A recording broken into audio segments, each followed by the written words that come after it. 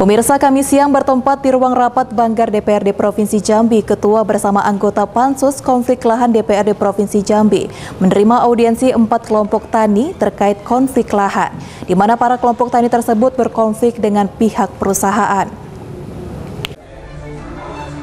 Panitia khusus atau Pansus Konflik Lahan DPRD Provinsi Jambi menerima kedatangan empat kelompok tani dari Kumpeh Ulu dan Kabupaten Tanjung Jabung Timur dalam rangka gelar audiensi terkait konflik lahan bertempat di ruang rapat Banggar DPRD Provinsi Jambi.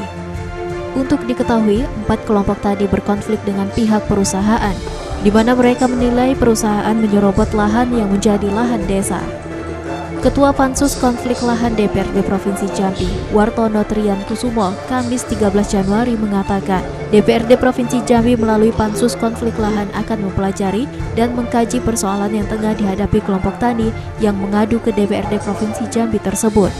Kemudian pihaknya akan memanggil pihak-pihak terkait untuk menyesuaikan dengan apa yang disampaikan kelompok tani. Tadi ada kelompok tani dari Muaro Jambi yang belum punya HGU tapi dia terus mengerap lahan. Nah, jadi nanti akan kita komunikasi ke perusahaan-perusahaan terkait kan. Kemudian juga tadi yang barusan dari Tanjung Jabung Timur juga mengatakan bahwa eh, konfliknya beralih dengan eh, apa pemerintah daerah ya. Jadi memang tipologi konflik ini kan jauh-jauh semua saya sampaikan bahwa konflik ini bisa masyarakat dengan perusahaan dan masyarakat dengan pemerintah. Ini juga nanti akan kita panggil kita dalam. Lebih lanjut dikatakan Wartono pertemuan dengan kelompok tani tersebut merupakan permulaan karena masih dalam tahap pendalaman atau perlengkapan alat bukti.